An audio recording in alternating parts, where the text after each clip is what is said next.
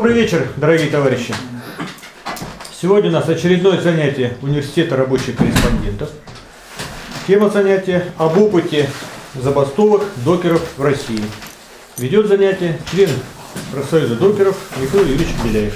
Пожалуйста. Здравствуйте, дорогие товарищи. Я уже неоднократно выступал а, по данной теме.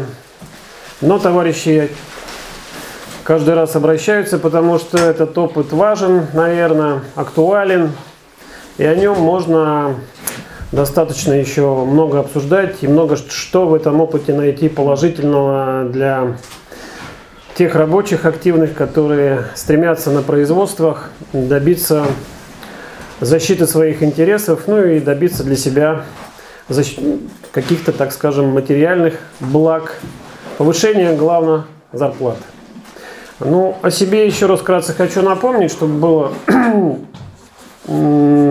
мои слова, так скажем, имели какой-то, может быть, определенный, ну не вес, можно сказать, а смысл. Я себе хотел сказать то, что э, я член Российского профсоюза докеров с 91 -го года, вот, и э, по так скажем, приходу на работу в порт, я буквально таки стал с первых дней членом э, профсоюза.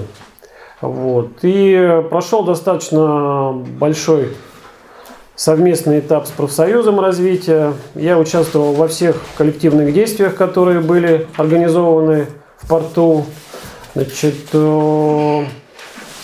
и принимал активное действие в профсоюзной жизни, начиная с прогруппорга бригады. Был практически э, делегатом на каждой конференции и профсоюзной, и э, рабочих порта. Вот. Э, был членом Забасткома, ну и, так скажем, в конце, может быть, скажем так, своей основной трудовой деятельности в порту я был председателем цеховой организации.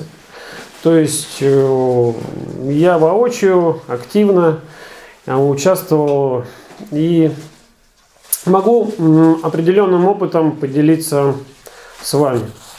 Ну, что хотел бы еще сказать, да? Ну, если мы говорим о коллективных действиях и о забастовках, это я уже по истечению времени пришел к выводу, что это такое, эм, можно сказать, искусство, да, вот. Э, и прямо опыт, например, Российского профсоюза докера нельзя, нельзя можно скажем, как э, взять калечку, э, положить и перерисовать его для другого какого-то предприятия. Каждое предприятие индивидуально, каждый рабочий индивидуально. Вот. Но, конечно, общие тенденции, общий характер можно таки найти. Ну, с чего бы я хотел начать? Э, э, это, наверное, вообще сегодня самая насущная и большая проблема – это вообще э, организация профсоюзов на производствах. Ну, если мы вспомним 91 год, это был как раз-таки переходный этап, да, мы переходили от коммунистического пути развития возвращались обратно капиталистическому, то есть в нашей стране по признанию многих э, прошла контрреволюция, вот, и э, наш э, профсоюз как, как раз-таки в этот период и образовался. То есть тогда еще был силен профсоюз работников водного транспорта, тогда был большой опыт вообще в Советском Союзе существования профсоюзной организации был и опыт, и коллективные договора на предприятиях были, и много что было хорошего и положительного не только как бы путевки, но и молоко тоже за вредность давали, которое было прописано в коллективных договорах. Ну вот э, как бы толчком к развитию э, ну, как бы нашего профсоюза образованию явилось то, что ну, не, все треб... не все желания, не все, так скажем, э, наши пожелания удовлетворялись в коллективном договоре. Вот, и главное это было ограничение физической нагрузки.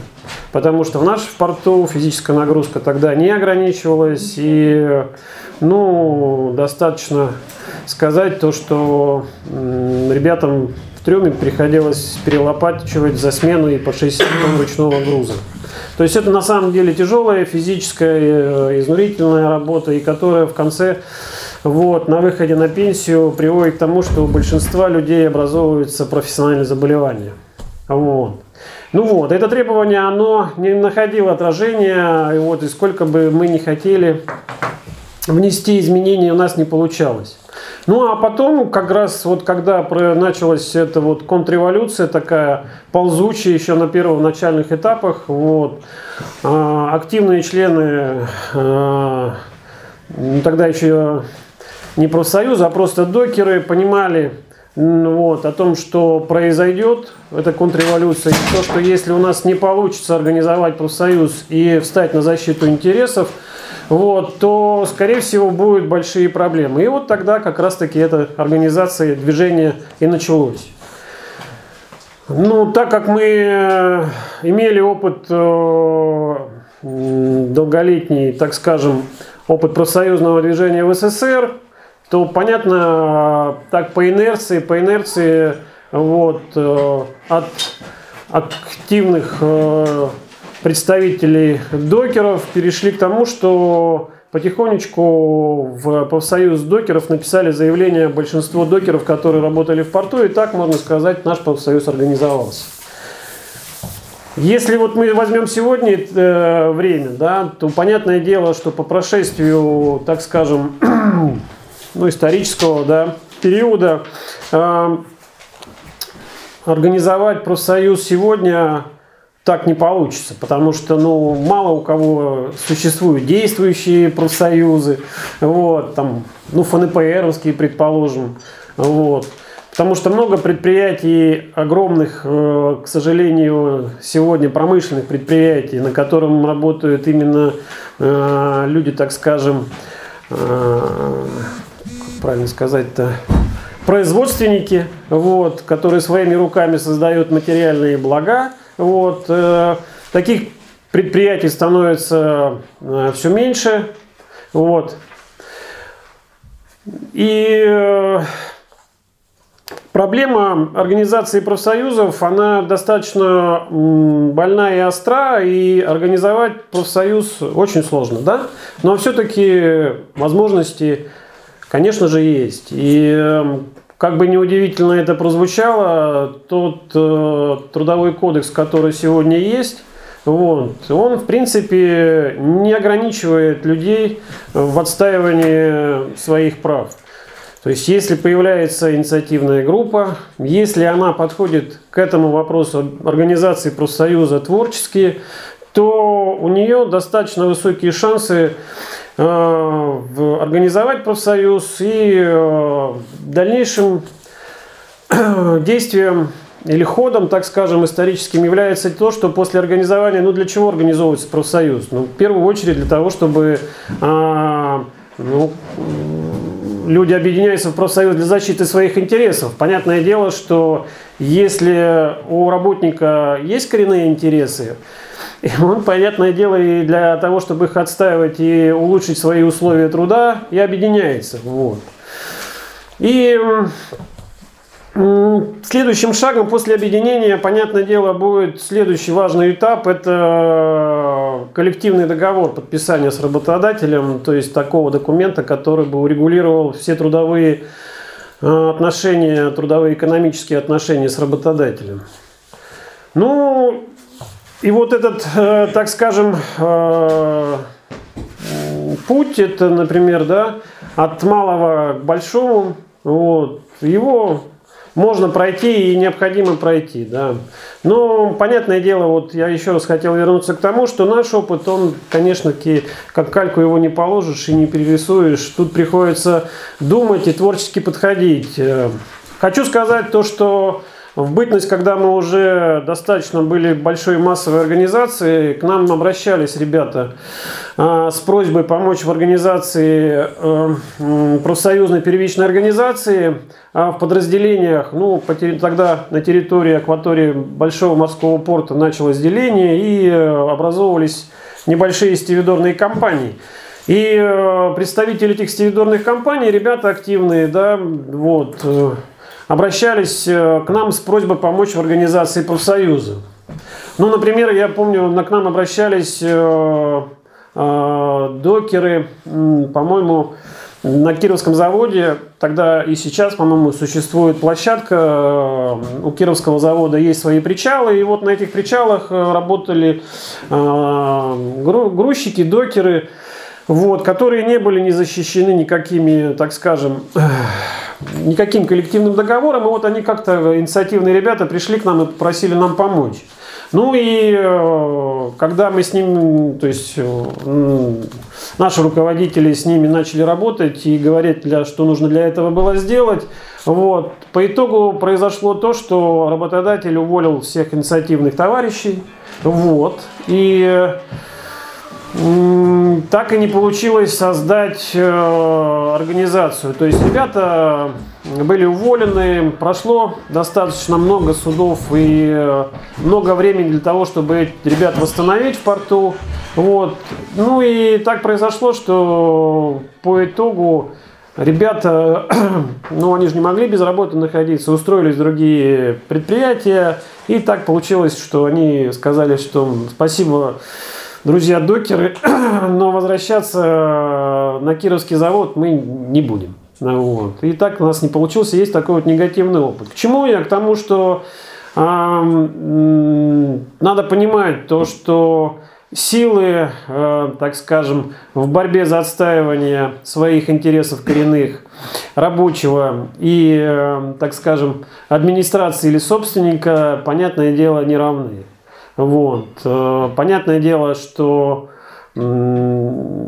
сила, что там скажешь, в администрации намного превосходит, и возможности превосходит, по возможности. Но отчаиваться не стоит. Вот. У нас есть примеры и другие, когда людям удается организовывать профсоюз, вот, организацию. Ну вот я хотел сказать то, что э, очень важно это первое, чтобы нашлись инициативные товарищи на предприятиях, которые бы смогли это дело потянуть. Это очень важно. Вот. Э, опять-таки вернусь э, к истории нашего профсоюза. Такие э, активные товарищи у нас появились, вот, были. Вот. Э, нам повезло, что так скажем, уровень образования у этих товарищей был достаточно высок. Они все у нас были с высшим образованием. Вот. Э, это первое. Второе, важный момент, на котором я хотел бы остановиться и, наверное, сказать одним, может быть, и коренным, о чем я хотел сказать, о том, что, а, например, если мы возьмем такую персону, вот, как Константин Васильевич э, Федотов, вот, э, такую персону, как Евгений Петрович Тимофеев, то эти э, товарищи, они имели достаточно на тот момент уже свой определенный опыт, э, так как сказать, политический, наверное, э, политический определенный опыт. Почему? Потому что они были членами рабочей партии труда. Вот, то есть они, можно сказать, они были партийными людьми. Вот. И э, благодаря тому, что э, на тот момент уже существовал, по-моему, фонд рабочей академии, вот. Нет, не существовал. Ну, э, была достаточно активная такая, скажем, группа поддержки, вот, которая оказывала достаточно, так можно сказать, идеологическую и политическую помощь в организации э, рабочего движения тогда в порту. Вот. И это так вот такая определенная корреляция к тому, что э, в рабочем движении без, э, так скажем, партийного, можно сказать, влияния или помощи, или, ну, кто у нас привносит э, в рабочий класс коренные интересы? Партия. Вот. Поэтому не всякий рабочий даже иногда может определиться со своими коренными интересами. Вот нужна помощь. И нам тогда повезло, что вот такое плотное сотрудничество, и что в нашей организации были такие люди, и привело к тому, что такая организация а, ну, так появилась. Поэтому, если ты организовываешь профсоюз, если ты, например, считаешь, что ты активный член, ну, то есть активный товарищ, у тебя много сил и энергии, то в первую очередь ты должен найти поддержку, я думаю. Вот. Ну, когда ты находишь поддержку, вот, то второй опыт ты должен э, э, овладеть определенными знаниями. Ну, а какие-то знания? Понятное дело, что, наверное, надо знать опыт э, коллективных действий в России. Ну вот. Второе, знать трудовое законодательство. Ну и как бы и я бы сказал бы, не помешало бы закончить Красный университет.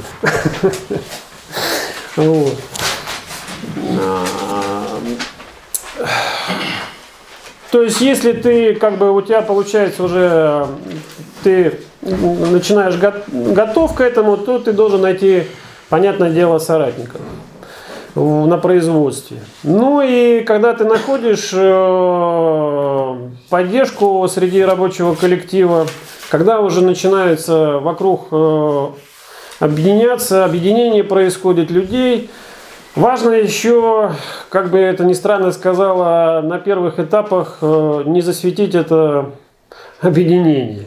Для того, чтобы работодатель не, так скажем, провел определенные карательные действия, и то, чтобы вы остались именно членом этого рабочего коллектива, а не искали бы э, работу где-нибудь на стороне. То есть это такая вот, э, как говорится, можно вспомнить э, революционеров, э, это такая определенная на первом этапе подпольная работа, подпольная деятельность. Вы должны эм, учитывать этот фактор. Э, ну а э, пока, ну а дальнейший этап, понятное дело, что ну, профсоюз это э, дело важное и хорошее, да, вот. Но понятное дело, что это не самоцель организации профсоюза. Э, целью является заключение коллективного договора. То есть это такая уже следующая ступень. Вот. Можно сказать, такая самая, можно и сказать, высокая ступень, которую необходимо достигнуть. Это заключить с работодателем э, коллективный договор. Ну, э, например, если мы возьмем период э, становления нашей тоже профсоюзной организации, ну, на предприятиях э, в то время наша так скажем, историческом прошлом, период СССР, да, на предприятиях были коллективные договора, и они достаточно были, ну, если мы их сегодня возьмем и посмотрим, если где-то найдем, вот, то они э, достаточно полно отражали и защищали, вернее, интересы рабочих. Были, конечно, нюансы, но э, в массе своей, конечно, таки коллективный договор на предприятии в первую очередь стоял на защите кого? Простого работника. Вот. И, так скажем, фундамент этот, э, так сказать, у нас был. И по сути своей э, первый коллективный договор, он э, в порту был нами принят тогда практически договор, который действовал только с внесением туда определенных поправок, ограничений, связанных тогда с ограничением физической нагрузки. То есть, о чем я хочу сказать, то, что коллективный договор должен быть. Вот. А для этого что следует? Следует сесть и его написать. А, ну, написать-то правильно, если у вас нету никакого опыта, это очень непросто и сложно. Но есть примеры, не то что примеры, а есть так уже наличествуют договора таких э, ну не знаю, на мой взгляд, одним из сильных профсоюзных организаций, больших и таких вот э, серьезных коллективных договоров, которые на сегодняшний момент существуют, они существуют. Главное, главное, что они существуют, это, например, можно сказать о том, что есть коллективный договор э, на ПКТ, ну, коллективный договор э, Российского профсоюза докеров, вот, коллективный договор ПКТ. Контейнерный, э, ПКТ это первый контейнерный терминал. Вот. Ну, я думаю, что здесь э, присутствуют люди, которые э, знают, что существует в недрах интернета сайт фонда рабочего академии. Вот. И, э, а те, кто не знает, я думаю, что от меня услышат, вот, которые могут туда окунуться и найти там эти, эти документы. Эти документы можно взять за основу. Документы можно взять за основу и на базе этого непосредственно, потому что каждое предприятие индивидуально написать под свое конкретное предприятие коллективный договор. Ну и то есть, э, когда вы уже этот коллективный договор написали, когда уже вы считаете, что он получил, так скажем, Жизнь, то есть надо э, дальше дать ему жизнь. Понятное дело, что вы должны прийти в трудовые коллективы вот, и начать там работу. Это самый сложный момент.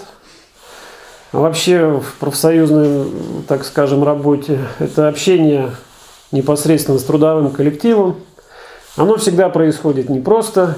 Вот. Но если тебе удается, так скажем, если ты обладаешь определенными ораторскими способностями, если ты обладаешь способностью к убеждению, если ты имеешь поддержку, потому что ты, когда ты приходишь один, например, в, в подразделение в какое-то, это одно дело. Когда ты приходишь, например, с товарищем, единомышленником, это уже другое отношение. И когда ты потихонечку приходишь в подразделение и начинаешь рассказывать, объяснять, пропагандировать, ну, то есть проводишь вот эту вот всю такую рутинную работу, задача какая? Задача такая, чтобы привлечь на свою сторону как можно больше сочувствующих, как можно больше заинтересованных, то есть тех людей, которые тебя поддержат. Вот, это будет э, непростая работа, то есть, которая будет отнимать очень огромное, то есть, свободное время, то есть, ходить, ходить, рассказывать. Это первый этап. Ну, то есть, не первый этап, это, как скажем, часть. Понятное дело, что ты человек, и у тебя там может семья быть, еще что-то, и охватить это хорошо, если у тебя маленькое производство, а если у тебя там огромное производство, что нужно сделать? Нужно, понятное дело, донести это дело – до каждого. То есть э, вот в нашей профсоюзной жизни активная ну, помощь и активная, так скажем, поддержку оказывал э, так скажем, профсоюзная печать. Мы э, в рамках нашего профсоюза вот, издавался у нас, так скажем, приложение к, к «Народной правде». Оно у нас выходило под названием э, Докер. Ну, то есть у нас была своя газета. Я хотел об этом сказать, то, что у нашего профсоюза на протяжении достаточно длительного времени был свой печатный орган. Вот. И этот печатный орган, по моему убеждению, играл огромное, играл огромную роль, значение. Вот, его, ну, я его, ее, ее не переоценить, то есть это, в общем, очень важный, важный такой фактор был э, в работе профсоюзной организации. А почему? Вот, ну, ты же не можешь прийти в каждое подразделение, да? Но в каждое подразделение ты можешь принести газеты. Вот. И приходят, э, эти газеты приходят в подразделение.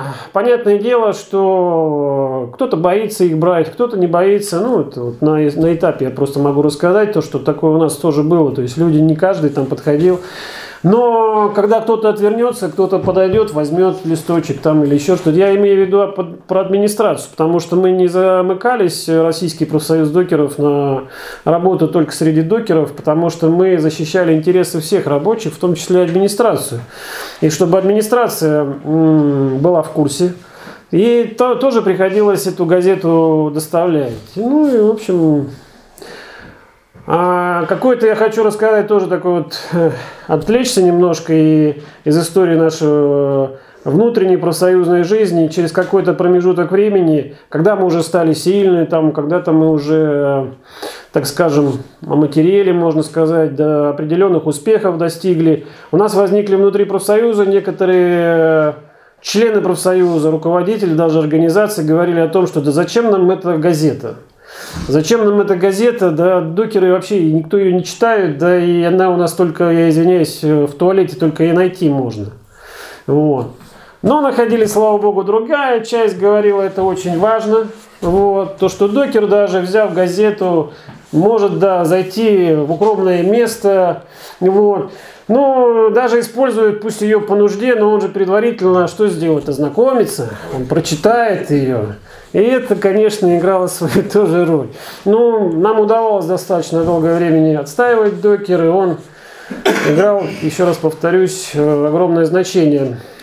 На тот момент у нас э, не было такого сильного э, развития такого еще интернета.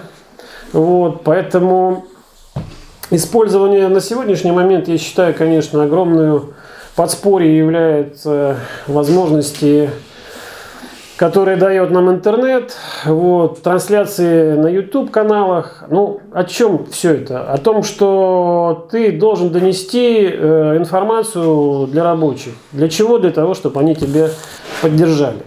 Ну вот, когда ты и когда ты уже, э, так скажем, почувствуешь, что за твоими плечами уже организовывается, так скажем, а, ну не стена, но хотя бы что-то такая какая-то поддержка, тогда уже можно выходить э, с, к работодателю с предложениями, а давай, дорогой работодатель, проведем с тобой переговоры.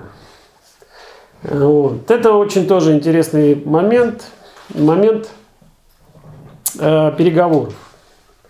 Вот. Э, почему очень важен этот э, аспект и момент, потому что в процессе проведения коллективных переговоров работодатель обязан освободить работников вот, от основной работы с сохранением заработной платы.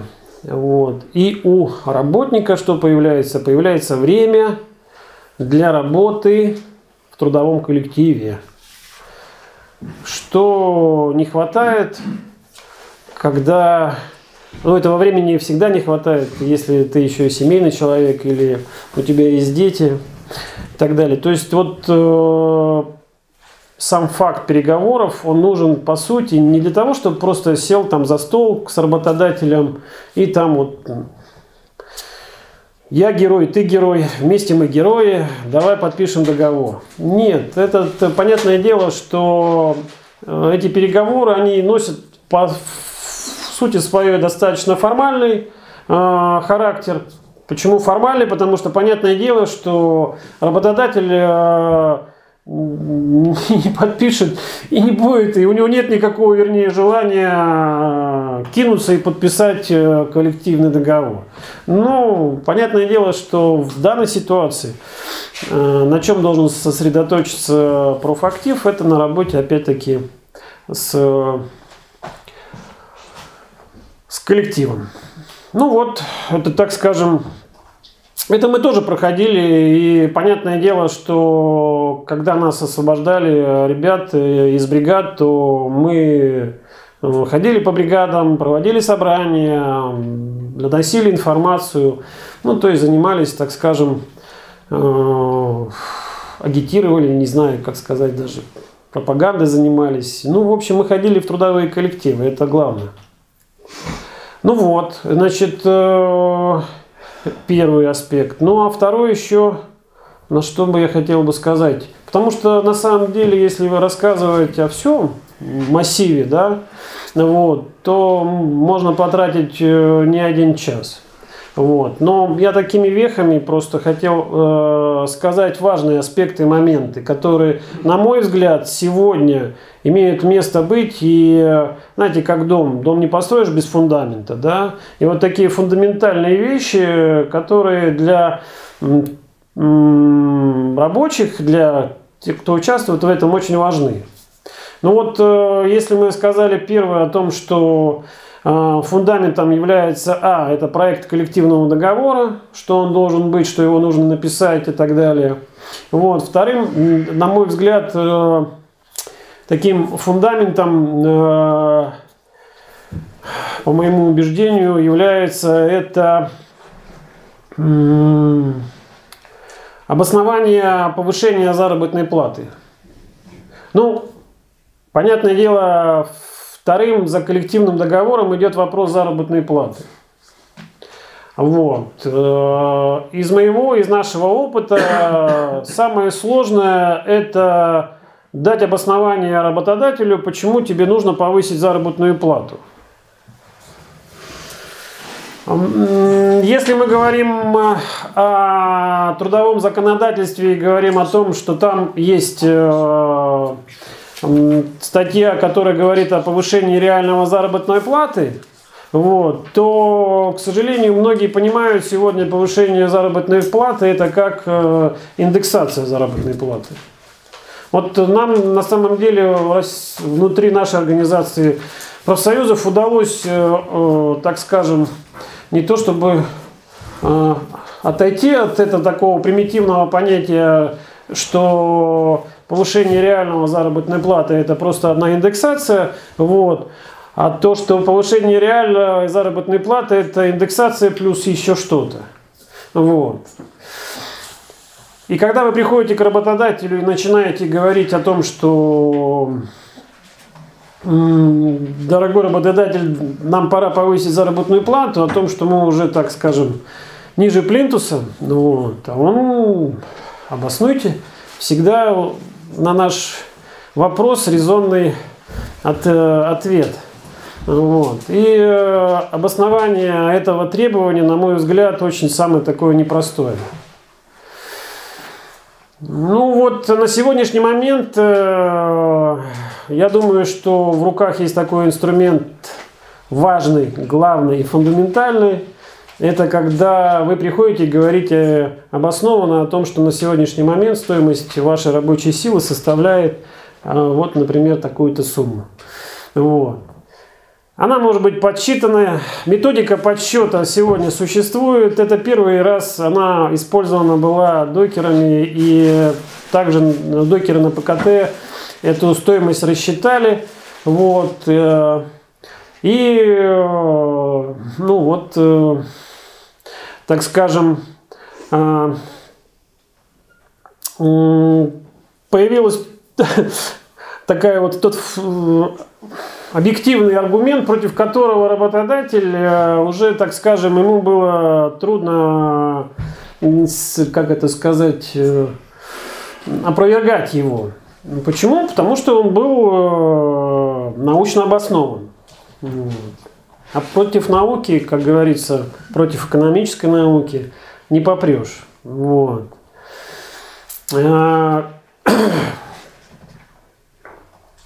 и это на самом деле такой вот важный аспект, поэтому такая вот, ну не знаю, главное не то, что рекомендация, но, можно сказать, призыв э, к всем, кто сегодня вот слушает меня, увидит или услышит, это, это сесть и рассчитать э, реальную заработную плату на своем производстве. Да. Ну вот, стоимость заработной платы. Это первый. Ну, то есть вот таких вот два аспекта я хотел бы вот важных э, сказать. Ну, это такие, э, можно сказать, ну как вот борьба, да, делится. Есть э, стратегия, э, есть тактика. Ну вот что можно мы относить вот как бы к стратегии, это, это я бы отнес, это вот разраб, э, э, проект коллективного договора, его наличие. Второе, вот э, то, что у тебя должен быть обоснование повышение заработной платы. Ну, а вот уже как это все, как скажем, добиваться этого, это уже такие тактические, можно сказать, вопросы. Ну, понятное дело, что После проведения коллективных э, переговоров э, всегда ну, на 99, на 100% будет подписан протокол разногласий. Вот. Понятное дело, что нужно будет э, решать, а что же делать дальше. И дальше этот, значит, путь какой? Это это э, отстаивание своих интересов. Сегодня Конституция за всеми это право оставляет. Это, пожалуйста, есть у каждого право на забастовку. Ну вот. Значит, и встает другой вопрос. Э, я это просто уже так, может быть, перескакиваю, потому что понятное дело, что тут и могут идти параллельные пути. Это я говорю о той организации, которая, можно сказать, устоялась уже, да, то есть э, которая, ну, может, так скажем, окрепла как-то или еще что-то. Вот. Это выход на подписание протокола разногласий и выход на коллективные действия. Ну вот я хочу сказать второй, так скажем, чтобы все понимали, то есть фундамент это то, что никогда, по моему, наверное, убеждению, работник не сможет достичь улучшения заработной платы без проведения коллективных действий. Никогда. Вот. То что понятно, если работник хочет улучшить свои условия, он должен понять, что это может произойти лишь только после коллективных действий, возможно.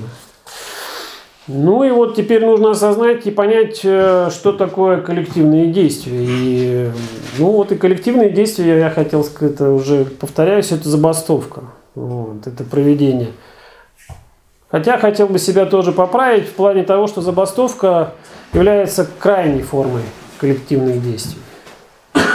На самом деле у работника, который творчески к этому подходит, есть на самом деле много тоже способов проведения коллективной а, борьбы. Поэтому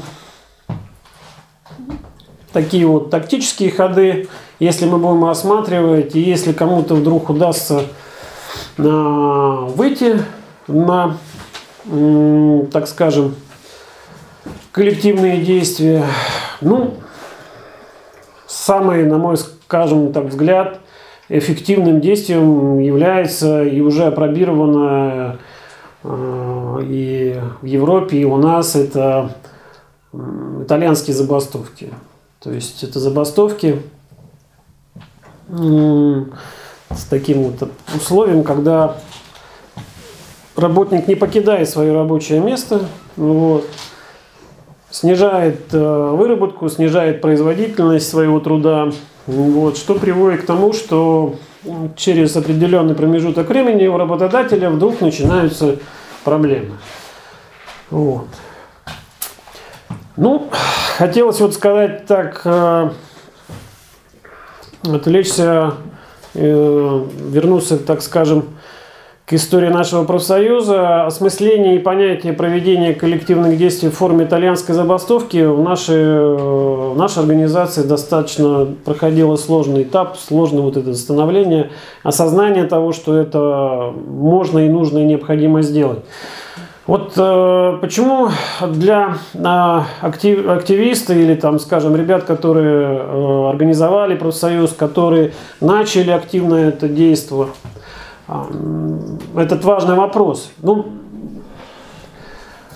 ну что такое забастовка, да? То есть вы прекращаете выполнять свою трудовую функцию, да? Но если вы прекратите, то, соответственно, что получается? То есть вы не получаете заработную плату. Что, не, что такое неполучение заработной платы? Это большая радость для работодателя, потому что через какой-то промежуток времени, а, понятное дело, с вами будет легко о чем-нибудь договориться. То есть, понятное дело, что в семьях рабочих жены и дети скажут, папа, а где зарплата, вот, там, и так далее, и так далее. То есть, пойдет э, недовольство внутри коллектива, вот, и работодатель легко потом сможет эту ситуацию переломить. Вот. Поэтому это всегда крайняя форма остановки работы, производства, это ну, крайняя форма. А если вы применяете вот такую вот э, непонятную форму, как итальянская, да, ну вы находитесь на предприятии, да, вы выполняете трудовую функцию. Вам работодатель, получается, грубо говоря, за то, что вы занимаетесь коллективными действиями еще за это платят заработную плату. Как бы так парадоксально. Вот, не звучало бы, да. Ну, в общем, и понятное дело, что вы теряете в деньгах. Но эта потеря несоизмерима с той потерей, которая может произойти при полной остановке производства. Вот поэтому э, на сегодняшний момент э, категорически, я думаю, что на этапах вот только вот если вы организовались, приходите в трудовой коллектив и говорим, и обращаетесь к трудовому коллективу, вы должны еще его убедить будете в обратном. Как бы не парадоксально это звучало, в том, что останавливать работу нельзя. Вот. А надо проводить как-то вот в определенные, чтобы коллективные действия были в определенной форме. Вот, имели определенную форму. Ну, у нас это было тоже определенное становление. Хотел сказать то, что пришло тоже осознание, можно проводить вот, э, коллективные действия. Они имеют достаточно, э, так скажем, эффективные, эффективно оказывают эффективное давление на работодателя. И, а что такое давление? Это ты приходишь на переговоры, и уже у тебя есть э, в кармане козыря. ты их можешь, так сказать, по одному там или как вытаскивать из кармана, и как-то уже начинается э, беседа с работодателем, может быть, на равных, может быть, э, ну, ты, работодатель начинает вдруг на тебя прислушиваться к тебе. Потом, значит, если мы берем форму итальянской забастовки, тут уже, тут, как это называется, разворачивается творчество. Бывает другой еще аспект, когда ты коллективные действия начал, и когда уже, ну если у тебя большой коллектив, я говорю сейчас о большом коллективе, так как порт представлял и представляет сегодня достаточно большой производственный цикл, большие там производственные связи, цепочки, то есть это огромный коллектив. Вот. И когда это начинается, то второе еще нужно было обладать определенным искусством, чтобы это в нужный момент остановить. Вот. Это так, как бы добавочка. А к чему я хотел еще вернуться, к тому, что вот э, когда у вас большое предприятие, то у вас и творческий такой аспект получается, что, ну, что такое производство? Еще производство с непрерывным циклом, предположим, как порт, да? То есть э, достаточно выбрать, может быть, э, небольшое звено производственной цепочки, и это звено, так скажем, ограничить или, так э, сказать, так, чтобы оно приостановило свою трудовую функцию на определенный момент или сработало с меньшей производительностью. И что происходит? То, что в момент, когда маленькое звено производственное начинает вдруг э, проводить э, коллективные действия в форме там приостановки работы на 2-3 на часа, то оказывается и все предприятие встает и ждет. Вот, и всего-то бастует, и всего-то в это коллективных действиях э, приняла участие небольшая группа, но она вот так, такая центральная группа. И эти центральное производство, так еще раз, единый цикл, единый организм. И если вы в этом организме, например, что-то, например, где-то в другом месте перекроете, то опять-таки все это будет нарастать. Ну, как это говорится, да? Артерию перекроешь э, в одном месте, в другом месте, в третьем месте. Организм потрепыхается, потрепыхается, а в конце концов э, все равно согласиться, ну вот, что близок, близка смерть. Вот, так и у работодателя это, возможно, такое вот происходит осознание, то, что если вы с работниками не найдете общего языка, то возникают потом большие проблемы. Вот, это первое. Ой, ну то есть не то, что первое, это из, так, из тактики э, таких моментов. Ну и что еще? Ну, Это э, по форме проведения коллективных действий. Да, вот они имеют творческий характер э, применения. Ну а такой вот еще важный, главный может быть э, аспект или, как скажем, взгляд на этот процесс, это то, что, как бы неудивительно, он, можно сказать, такой и носит революционный характер. Сейчас попробую объяснить почему. Потому что в момент э, забастовки э, главным на предприятии становится забастовочный комитет. То есть законодательно определяется, что в момент забастовки существует, должен быть э, забастовка руководит забастовочный комитет, а который регулирует, у него есть свои права, обязанности, вот. И по сути своей происходит такой вот э, э, не то чтобы перенос, то есть меняются местами управленческие функции. То есть получается, что предприятием на момент проведения забастовки руководит не администрация, а забастовочный комитет. Это вот такой вот интересный аспект.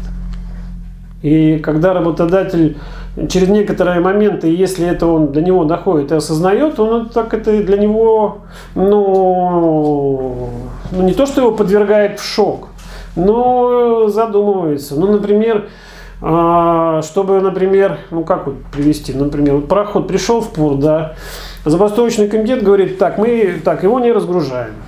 А приходит э, владелец груза и говорит, ну у меня там, там курицы, им нестись нужно, вот нужно срочно тут их как-то выгрузить или их куда-нибудь отвезти.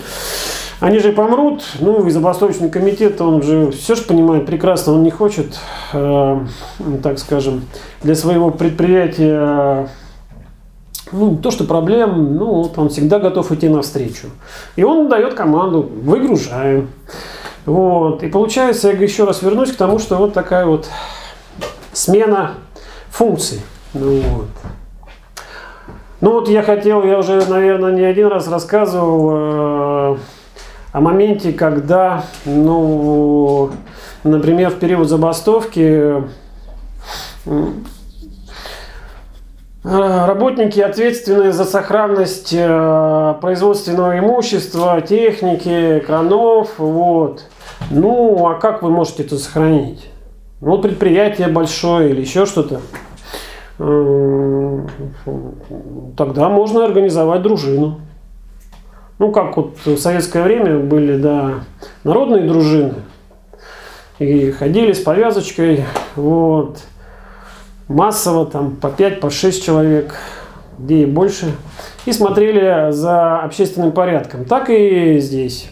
И вот у нас была такая как бы идея, которая в, так в процессе не нашла конкретного воплощения реализации, потому что работодатель после определенных шагов осознал все и быстренько значит, э, перешел к, активной, а, к активному переговорному процессу. Вот. Э, но забастовочный комитет вышел с инициативой к администрации э, с тем, чтобы организовать эту дружину э, вот, с целью сохранности имущества работодателя имущества. Потом мы обратились с этим за помощью в проведении, например, обучения дружинников к э, городским властям мы обратились, э, тогда это и сейчас существует в э, полиция на транспорте, да, вот, о том, чтобы она направила к нам, а у них такое, по-моему, до сих пор существует, лица, которые ответственны за Э, народные дружины, чтобы с нами провели обучение, да, нас научили, как, значит, нужно использовать дубинку, вот, как, значит, э, э, обезвредить нарушителей и так далее. И к нам, я помню, на одно из заседаний забастовочного комитета пришел, значит, руководитель внутренней охраны порта, пришел, значит, подполковник милиции, вот. И они сидят, и мне, мне тогда, я помню, запомнилось их выражение, такие удивленные, заинтересованные, непонятно, что же они здесь делают. Они пришли, значит, к докерам, чтобы их обучить чему, как. Мы говорим, давайте подпишем значит, положение дружине, так это мы их так активно нагрузили этими интересными там вопросами, что они, наверное, схватили за голову, думают, господи, поскорее бы все это закончилось. Ну. Ну, в общем, да, до дружины, слава богу, дело не дошло, может быть, не слава богу, не знаю, но такой вот интересный момент. О чем еще раз хотел вернуться, что вот это удивительное состояние в коллективных, э, в коллективном трудовом споре, когда вы вышли еще на забастовку, и когда ее объявили, и когда есть забастовочный комитет, то вот э, к чему стремится рабочий класс взять власть в свои руки – это у него по факту происходит реально. И на законных основаниях. Вот, и можно сказать и без революции. Ну, этот и я могу еще много чего говорить по этому поводу, но время подходит к концу. Да, еще вот. вопросы. Еще есть вопросы, поэтому я, с вашего позволения, э, отвечу на вопросы. Сами почитайте, зачитайте. Ну, некоторые могу и не почитать. Я, я так печатаю буквы пишу. Первый вопрос. Чем объясняется удачи и неудачи профсоюза докеров? Ну, здесь я уже, по-моему, отмечал один аспект удачи профсоюза. Это а, активное сотрудничество а, с э, Фондом рабочей академии, а соответственно влияние партии на рабочее движение, это, на мой взгляд, важный аспект. Это, скажем так, к удачам, а к неудачам, что в процессе, в дальнейшем профсоюз от этого наш активно отошел. Это к неудачам. Следующий вопрос. Каковы его перспективы ну, профсоюза? Что бы вы посоветовали нынешним руководителям? Ну, вообще, на самом деле, в Российском профсоюзе докеров происходят непростые, сложные времена. Вот. Э, после, так скажем, побед Российского профсоюза и признания того же самого работодателя о том, что вот э, профсоюз докеров победил, выиграл или так далее, прошло определенное время, работодатель приобрел, научился, что ли, так можно сказать, э, активным анти, так скажем, профсоюзным действиям, да. Вот. И на сегодняшний день численность профсоюза у нас э, достаточно, ну не то, что достаточно, сократи, сократилась. То есть сегодня, например, профсоюз э, в некоторых организациях не представляет больше половины. Соответственно, возникают проблемы с э, подписанием коллективных договоров. Ну, в общем, большие трудности. И такая еще такой важный аспект и момент, то, что произошло смена поколений. Достаточно произошло это резко. Все такие, скажем, старые основные кадры э, с производства ушли, а на производство э, пришли новые кадры, молодые, э, ну, в общем, с которыми администрация нашла способ, так скажем, работы. Понятно. Следующий вопрос. На весеннем заседании Российского комитета рабочих профессор Золотов говорил о том, что надо различать учреждение и создание профорганизации, и что создание профсоюза завершается тогда, когда проведена успешная забастовка. Согласны ли вы с такой позицией? Согласен. Коротко и ясно. Чем объясняется низкая политическая активность рабочих? Чем объясняется низкая политическая активность рабочих? Ну, ну, ну вообще, в общем, да, мне сейчас сложно сказать, э, потому что достаточно уже, ну, не то что длительно, не отношу себя уже к рабочим, да, вот, но по моему убеждению, если мы возьмем докеров, да, ну, например, да, это ну, например, докеры работают у нас, смена у них по 12 часов, да, то есть э, где-то иметь свободное время, ну, хорошо, вот если мы возьмем, э, ну, рабочий, да, первый, он что должен быть, образованный рабочий, да, вот. Но для того, чтобы прийти домой и посмотреть интернет или еще что-то, ему нужно тоже какое-то время. Но главная ценность, я сегодня считаю, что это свободное время. Ты пришел, посмотрел, так, загорелся, побежал, э, вот, э, взял, так скажем, орудие труда и на баррикады. Я так образно говорю. Но я считаю, что основным таким фактором это первое. Это свободное время у работника нету. А, второе, это, ну, наверное, еще тот уровень заработной платы, который существует, как-то им позволяет выживать. Поэтому, значит, вот такие вот аспекты. Понятно. Последний вопрос. Можно ли рабочим применять приемы луддитов? То есть, так понимаю, технику громить? Нет, конечно. Это какая-то глупость. Все, спасибо. У нас есть... Спасибо. Саживайтесь пока. И записавшись на вступление. Товарищ Шмелев, пожалуйста. До 5 минут. Уважаемые товарищи, несколько дней назад я внимательно прочитал статью Виктора Ивановича Галко под названием «Является ли Россия империалистической?». Хочу сказать, что эта статья является хорошим примером того, как ложка дегтя может испортить бочку меда. Под бочкой меда я подразумеваю большую статистику, которая там приведена, ну, относительно большую. А под ложкой дегтя ложные выводы, к которым пришел автор. Главным, главной нитью в этой работе является... А можно я хотел бы, не то что, да, я вот, например, выступил как лектор, если вы э, по моему выступлению... Я к вам, я к вам дойду. Нет, не, ну как-то вы как-то, давайте, может, сразу. Ну давайте, вы сейчас работаете докером? Нет. Нет? Э, вот мне показалось, что вы не совсем уверены в своем классе, к которому когда-то относились. Вы называете забастовку крайней, крайним методом борьбы. Какой же это крайний метод борьбы? Забастовка. Вас заключительное слово будет. А. Пять минут выступления. А, это выступление, это не дискуссия. Потом заключительное слово. Сейчас. Забастовка – это не крайний метод борьбы. Есть гораздо более радикальные способы борьбы за власть и за улучшение положения рабочего класса. И говорить, что ну, нужны какие-то итальянские забастовки, это в корне неправильно.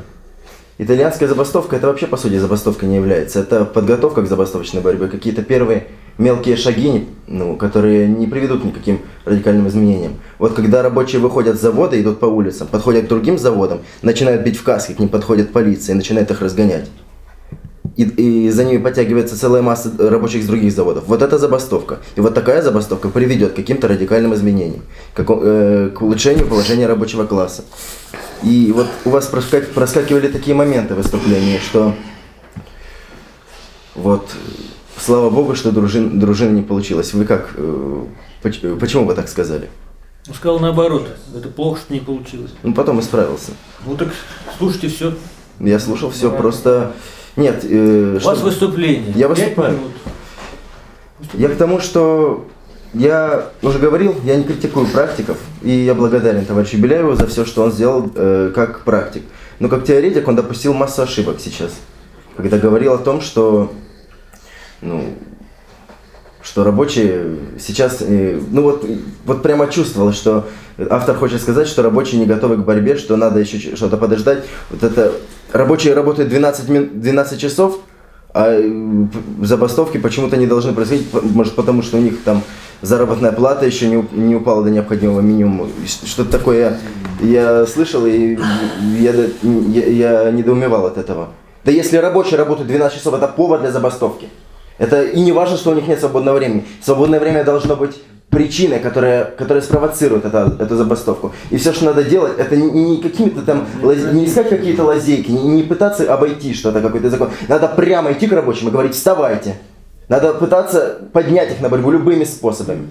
Потому что 12 часов работы, при том, что фонд рабочей академии ставит перед собой задачу достичь 6-часового рабочего дня, это повод для того, чтобы выходить на улицы.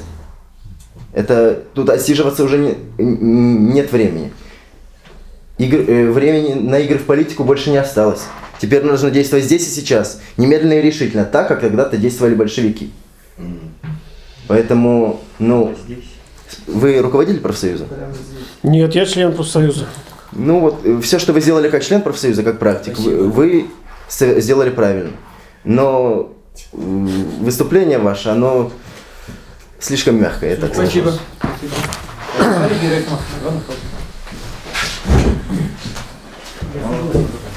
В выступлении товарища Шмелева вообще ярко показан был ответ, почему рабочие вот те чураются такой вот политики. потому что рабочие прошли через предательство КПСС со всеми этими маразмами, миазмами.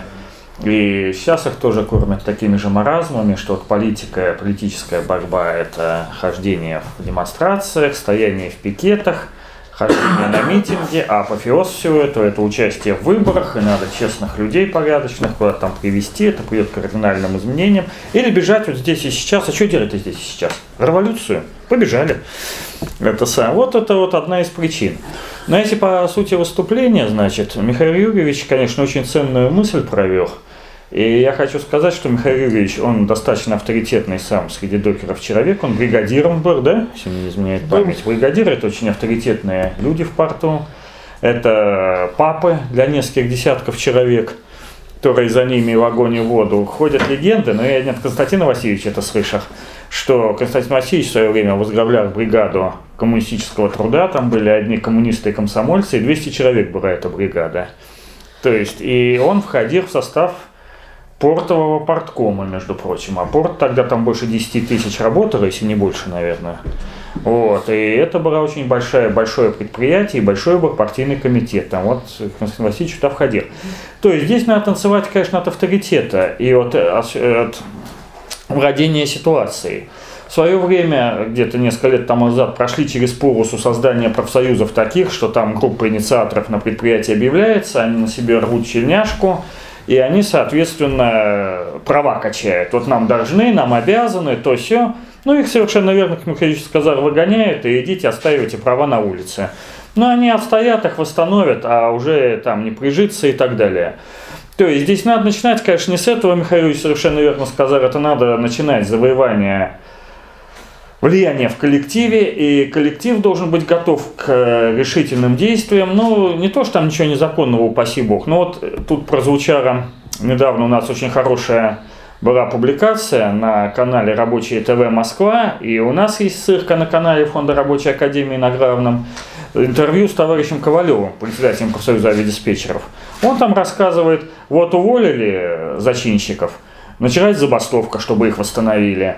Уволили этих, по всей России уже пошло. Всех восстановили без всяких судов, без ничего, потому что этой революции, надо сказать, от чего все массовые забастовки начинались, включая и кровавое воскресенье, к которому привели к увольнению 4-6 человек – на Путировском заводе, еще на каком-то, и за это, так сказать, поднимались, и люди не стеснялись идти. Никто сейчас не помешает человекам там 20, 30, 50, 60 зайти в административное здание, там в кабинет директора постучаться, спросить, а почему товарищи уволили. Ну, если, так сказать, охрана будет противодействовать, ну, как-то очень вежливо с этой охраной. Если охрана будет там как-то буйствовать, избивать, ну, то она действует в пределах самообороны. Там и 150, и 500 может прийти. Это ничего, когда, так сказать, увидят такие массы, здесь будет другое отношение. Вот, это, конечно, так. Но я вот, что еще, вот, у Михаила Юрьевича прозвучало такое вот, что итальянская, вот как он выразил, итальянская забастовка, я бы здесь предпочел другое слово использовать работа по правилам. Потому что итальянская забастовка, ну что это за забастовку надо, процедуру проходить, вы что, бастуете что ли? Работа по правилам. Вот, а против работы по правилам раздражать невозможно. Но тут не надо понимать, что это такое очень легкое, и опять же не надо начинать качать права. То есть, если вы, скажем, подойдете к своему погрузчику, вот у него люфт 270 градусов на руле, вот у нее на правом колесе короткие тормозные не работают, я не поеду на этом погрузчике. Ну, очень хорошо, иди в резерв, посиди, отдохни, другой поедет. Да, так раз, день резерве, два, там две трети вам платят от тарифа за простой по вине работодателя. И вам так надоест очень быстро, и вы сами уйдете или еще чего-то. Это опять же должна быть очень трудоемкая, скоординированная акция, что и демонстрировалось в порту. Значит, что вот еще? Вот по забастовке докеров, винсу ее, которая, между прочим, тут какой-то деятель в дискуссии говорит, вот Герасимов там все носится с этой забастовкой, которая была там уже скоро полтора десятка лет тому назад. Но это да. Но надо сказать, что, во-первых, ее после действия ощущается и очень сильно до сих пор. Михаил Юрьевич здесь несколько избыточно пессимистичную картину нарисовал. На первом контейнерном терминале по-прежнему все докеры поголовно состоят в профсоюзе. Все поголовно, там нет ни одного не члена профсоюзов из докеров. Там, по-моему, ну, под 500 человек где-то. Так что это не маленький коллектив, где все профсоюзы. Вот. И там вот, вот в этом году был заключен новый кор-договор, и очень хороший по-прежнему. Он практически не падает, а если там местами он где-то, конечно, чуть-чуть так незначительно ослабился, то реально, это вот Константин Васильевич мне говорил, все, реально все эти гарантии, которые были, реально поражение работников не ухудшается, до сих пор ощущается.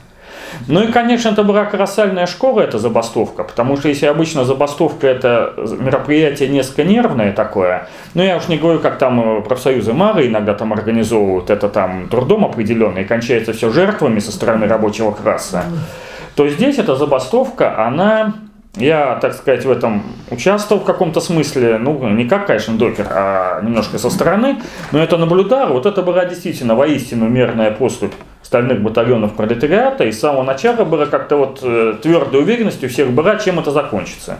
И закончится это иначе ничем не могло. Потому что было затрачено очень много труда, труда квалифицированного. И здесь трудом этим все решилось. Э, забастовка, во-первых, она началась не так, что полное прекращение работы, и начинается соревнование, пока толстый сохнет, худой сдохнет, да, ну и понятно, кто работодатели, кто работники, и кто здесь толстый, кто худой. Не работали час в, э, в смену в 8-часовой смене и полтора часа в 12-часовой. И поэтому рабочим хватало на жизнь, продолжаться такая забастовка могла сколько угодно, но очередь из фур здесь выстроилась колоссальная.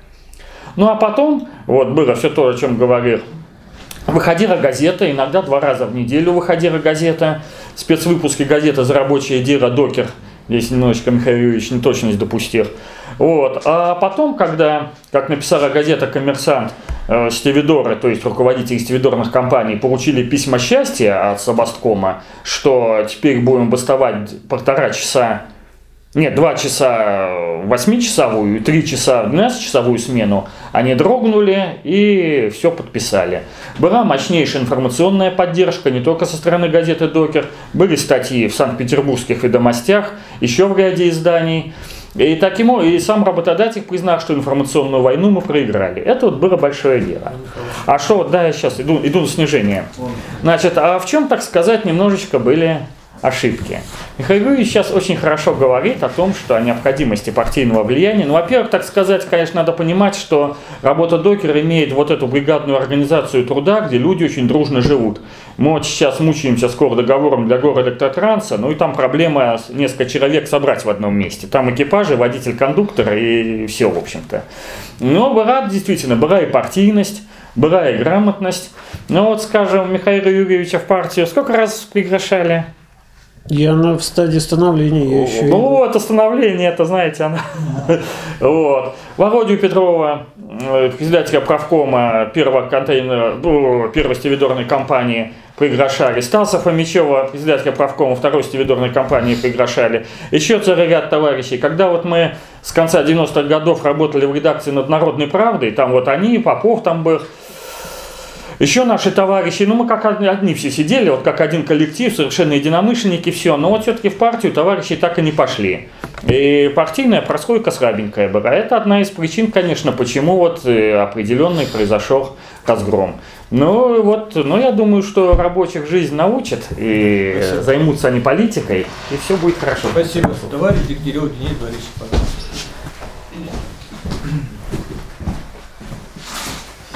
Я хотел бы тоже в первую очередь поблагодарить Михаила Юрьевича за освещение опыта профсоюзной и забастовочной борьбы докеров. Безусловно, когда слышишь из первых уст от человека, который действительно участвовал во всех этих действиях, это производит совершенно другое впечатление, чем когда слышишь в рассказах даже очень убедительных и талантливых лекторов, но которые сами непосредственно в забастовках участия не принимали. И, конечно, проведение забастовочных действий, проведение активной профсоюзной борьбы невозможно без теоретической подготовки, и эта подготовка была. Не, не случайно Михаил Юрьевич сказал о том, что участвовали люди с высшим образованием в организации профсоюза и в организации забастовок, и помогали консультанты, ну вот теперь Фонда рабочей академии. Но я хотел бы отметить другое, что сейчас, э, в общем-то, эра поголовной грамотности, и каждый рабочий умеет читать, каждый может открыть, по крайней мере, трудовой кодекс Российской Федерации и прочитать вообще, что, на что он имеет право. Это раз. Прочитать свой собственный трудовой договор, что там написано. Прочитать коллективный договор, если он имеется на предприятии, а на многих предприятиях есть коллективные договора, да, они были заключены с ФНПРовскими профсоюзами, они, может быть, дублируют законодательство, но тем не менее они есть, и посмотреть, что же вообще наниматель должен по этому коллективному договору тебе, если он тебе обязан предоставить средства гигиены, средства индивидуальной защиты, спецодежду и так далее, это не предоставляет.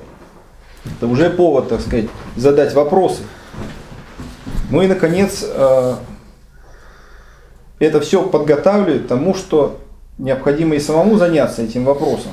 Подготовкой коллективного договора, о, котором, о чем тоже говорил Михаил Юрьевич. Э, поэтому задача в том числе и в первую очередь, наверное, коммунистов в своих трудовых коллективах эту работу инициировать. Не идти с призывами, так сказать, проходной, хотя это тоже, может быть, нужно делать, и звать куда-то непонятно, на какую борьбу, да, чтобы получить по, э, чтобы получить по голове, а, значит, и на этом все закончилось.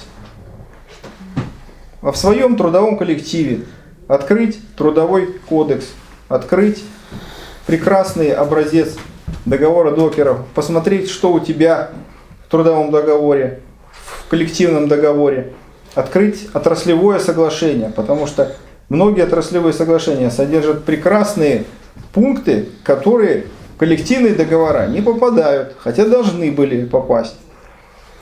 И этот аспект тоже учесть. И заняться, наконец, делом. А что, что касается политической борьбы, то политическая борьба, как известно, вырастает из борьбы экономической. И для того, чтобы была политическая борьба и классовая борьба, вообще должна пойти борьба экономическая. Если мы возьмем начало прошлого века или конец позапрошлого века, да, было массовое стачечное движение, были массовые забастовки в огромном количестве. И научный социализм, партия научный социализм соединяла коммунизм с активным рабочим движением. Сейчас задача сложнее в некотором смысле, потому что рабочее движение слабое, стихийное, очень, э, так сказать, э, носит очень слабые формы. Поэтому необходимо здесь работать с самого низа, в том числе и активизировать вот эту экономическую борьбу. Потому что если не будет экономической борьбы, не будет профсоюзов, не будет забастовок, не будет советов, соответственно. И о какой политической борьбе тогда мы можем идти речь? Поэтому необходимо брать на вооружение передовой опыт, в том числе и образцы коллективных договоров, и методы борьбы, которые применяли докер, успешно применяли, естественно, с участием центральной нервной системы, применяя на своем месте. Спасибо. Так, низкая политическая активность. Почему? Сейчас есть смешанные семьи. Если в том веке было как вот семья рабочих, там все такое, то сейчас очень много таких. Вот я работал в предприятии прибой литира. Там пожилой рабочий со мной работает, его станок. Я ему давал коммунистические всякие листовки, все такое. Мне сказали, ты не тому даешь. А как в чем дело? У него два сына, генеральные директора вот этого же предприятия. предприятия. А внук работает менеджером на этом же предприятии. Понимаете? Вот вам пример. Так что и таких семей до черта. У меня лично двоюродный брат, он сейчас умер, был самый настоящий олигарх в Астрахани. Все звал меня к себе, чтобы я был у него телохранитель, но я его послал подальше. Вот, как я делал, например, э, забастовка организовал насчет лудитных приемов. Лудит это и выводение техники из строя, все такое. Собрал 10 человек, вроде готовы. Потом некоторые стали бояться. Ну что делать? Ну пришлось подойти к гильотине, там шпонку вышибить, чтобы хотя бы на время остановить. К одному станку подошел, там кабель порвал, чтобы а то он начнет работать, сволочь такой. Ну ладно. Ой. И на заводе выступаю. Тут и генеральный директор, просто директор и человек, чтобы 200. А где забастовка? Краснознаменец завод. Это бывшие пороховые заводы наживки. Говорю, вы, люди, хотите, чтобы наш завод развивался, процветал? Хотите, я тоже хочу. Вы хотите, чтобы ваше благосостояние, тоже зарплата развивалась, стал нас хотите? Так вот, развитие идет из противоречия. А вы своим долготерпением, послушанием что доказали? Что вам зарплата вообще не нужна?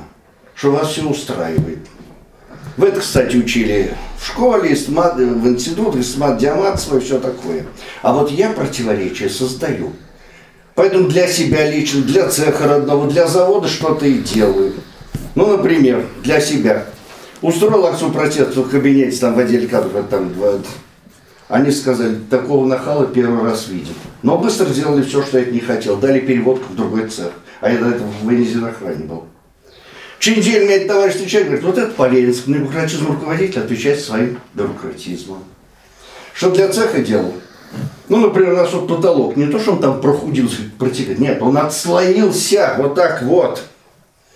Я беру записку, пишу генеральному директору, секретарше передаю. Пока там на вашей даче подъемный кран работает, у нас может несчастный случай произойти.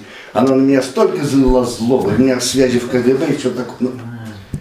Пока дошел, уже смотрю, там работяга, кран приехал. Говорит, вы что так долго время тянули? Тут все грохнется. Оцепили, стали там перекладывать все на свете. Так, чтобы проблему решить я этим людям своим, ее надо обострить. Гегель был такой мыслитель. Поэтому люди делают забастовку. Помните, как я квартиру получал? Устроил шум вокруг себя. Довел дело до конфликта, вот порвал на генерального директора пиджак. Он хороший человек. Я у него в кабинете погром устроил. С меня ни копейки не вышли. Коллектив за меня заступился. Квартира есть. Ну. Потом что? Каждый завод должен давать прибыль. Это в советское время, что сейчас. Если завод не будет давать прибыль, то и завода не будет. Это о чем говорит? Что каждый руководитель завода должен рабочего ограбить. Закон прибавочной стоимости. Чем лучше будете работать, тем больше он будет косить расценки. Что делать? Если вот, вот товарищ говорит, надо объяснить директору, как это. Если вы придете к Николаю Степановичу, генеральному директору, и будете им аргументировать, мотивировать в политкорректной форме, даже на бумажке математически докажете, что надо зарплату увеличить, вы как раз доказали обратное. Еще не взбунтовались, значит, можно погодить. День прошел, и ладно. Потом, вот Покидов наш председатель правкома. Он никогда противоречий не создает. У него любимое слово согласовать. Он соглашатель. И он вам такую иллюзию. Дескать, мы уже по-хорошему, худо-бедно живем. 8 марта нам организует там, новогоднюю елочку, там летние отпуска. За это время кто-то умер, кто-то уволился. Так вас и загоняют в это. Погоди, что, пять... м, Сколько? Ну, 30 секунд. Пришел другой рабочий ко мне и говорит, быть буржуем нелегко. Я сам буржуем был, был начальником цеха, был главным механиком. У меня, мы что делали? Выпускали могильные там решетки, все такое на окна. И 40 ларьков у меня было. И ко мне под, подвалили ракетеры, давай выплачивай. Я их послал, так они моего сына похитили. Не маленького, 27 лет. Волосы не отстригли, мне в конверте прислали. Ну ты как? С меня все до последней нитки выкачали. Пришлось сына выкупать. Он вернулся, ну не изуродован, но с нервным потрясением. Вот что такое быть буржуем. Я- так что рабочий быть лучше. Так что рабочий тоже эксплуатирует буржуя. Это диалектика, противоречия. Понимаешь? Вот так вот. Спасибо. Ну что, Михаил Ильич, заключительное слово. Можно мне, мне буквально предположение вот в конце своего выступления, хотя бы несколько фраз скажите, вот э, профсоюзы докеров на сложившийся портовый комплекс работает. А есть ли у вас какая информация о профсоюзах в Усте, в Услуге? Там это абсолютно новые коллективы. Вот э, как у них там? Вот меня это интересует тоже. Честно, такой информации э, я не могу, не имею. В смысле, не имею, не могу ничего сказать.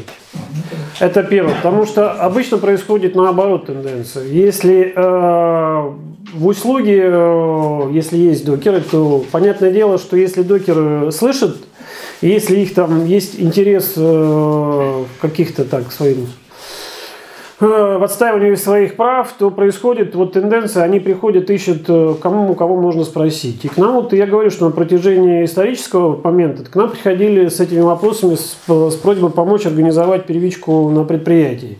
В услуги, э, как я знаю, там другая тенденция. Тенденция такая, что там э, существует э, в структурах порта, ну то есть, э, ну как это сказать, там э, работают не на постоянной основе часть коллектива, а на контрактной основе, то есть повременно. То есть вот э, пришел, сделал, ушел, то есть такой нюанс, когда в этих условиях трудно организовываться. Ну и желание. Я не знаю, не слышал, чтобы к нам пришел кто-нибудь из услуги в порт, э, в портовую организацию и попросил оказать содействие в организации профсоюзного движения, поэтому ничего не могу сказать. Ну а в заключении хочу сказать то, что ну, в рамках э, этого собрания, да, так как мы здесь э, находимся, так скажем, на учебе рабочих корреспондентов, да, вот, то главное здесь звучит все-таки слово рабочий, мне кажется. Вот. Ну и рабочий обычно становится тот, кто на предприятии отработает, как говорил наш классик, лет 10, наверное, да, тогда мы можем его смело признать рабочим. Без посторонних целей. Причем. Без посторонних целей, наверное. Без Вот. посторонних целей. Поэтому, э, чтобы понять, наверное, да, ну вот э, сегодня тут я выслушал критику в свой адрес, она мне чем-то напомнила, у нас был такой вот тоже э, председатель Васильев, а на заре становления профсоюзной организации, вот он тоже так же вот э, имел тенденцию выйти на трибуну и вот так вот громогласно там а давайте тым ты дым Он, он был демократ. Ну, наверное, он, да, был демократом, но чем-то вот, э, я не знаю, швастое выступление мне напомнило его. Чем закончилось? Тем, что рабочие его не поддержали и в скорости его переизбрали. И- Черновский делал доклад ревизор, что его подавительно уточнить. Ну и был, да, было еще другое, да, но это уже не относится немножко к другому, то есть это а, был сделан доклад о том, что на будучи э, на посту председателя он не очень был честным. Но я немножко о другом. А вот э, в заключение хотел сказать то, что в рамках э, этого собрания мы изучаем э, не только опыт там, политической борьбы или экономической борьбы, что первично, что вторично и так далее. Для меня э, объективно ясно и понятно, что на основе э, борьбы экономической рождается потом уже в дальнейшем и политическая борьба. Я думаю, что те люди, которые проходят через этот опыт, да, через опыт профсоюзной работы, ну, через опыт составления коллективных договоров, через опыт э, организацию коллективных действий на производстве, через опыт общения с рабочими, через опыт, ну, через вот это вот горнило, да, то есть в итоге потом они могут стать уже э, как бы такими полноценными, э, так скажем, политическими борцами вот, в будущем. Поэтому вам желаю э, тоже пойти на предприятие, организовать там профсоюз, э, попробовать через э, поработать с коллективом, вот, и посмотреть, как у вас получится. Я буду очень рад, если у вас получится вот, призвать их э, сказками выйти и отстаивать интересы рабочих. Коллективу Вот. нужен лидер. Ну, если у вас получится, я буду за вас рад. Больших вам успехов желаю на этом направлении. Вот. А вас хотел бы всех поблагодарить. Вот. На этом хотел бы закончить свои выступления. Спасибо, Спасибо. Объявление. Значит, встречаемся через неделю. Следующий четверг. Тема занятия. Экономическая борьба и экономизм. Ведет занятие кандидат медицинских наук Дегтярев Денис Борисович. То есть мы продолжаем обсуждать проблемы экономической, политической, классовой борьбы. До встречи через неделю. Спасибо. А